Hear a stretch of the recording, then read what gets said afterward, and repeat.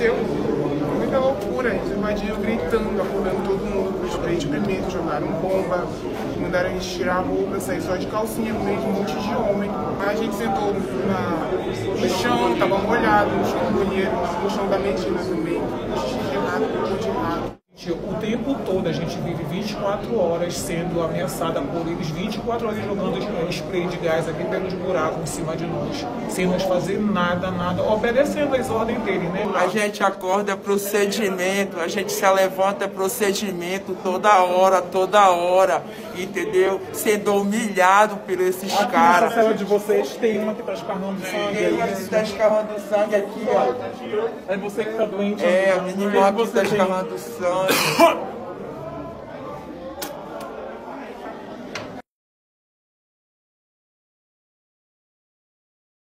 Nós estamos descalças, sem peça íntima, sem material de higiene, nós somos mulheres. Então fizeram nós ficar menstruadas e eles falaram que não queriam nem saber. Nós se vazando de, de sangue. Pô, nós pedimos socorro, socorro, entendeu? Porque muitas vezes a gente não pagando por nosso crime. Mas o que a gente está passando, a gente pede até pelo amor de Deus, para Deus matar a gente, porque não é fácil. Porque a gente vai poder se ressocializar dessa maneira, sendo que a gente está sendo oprimida.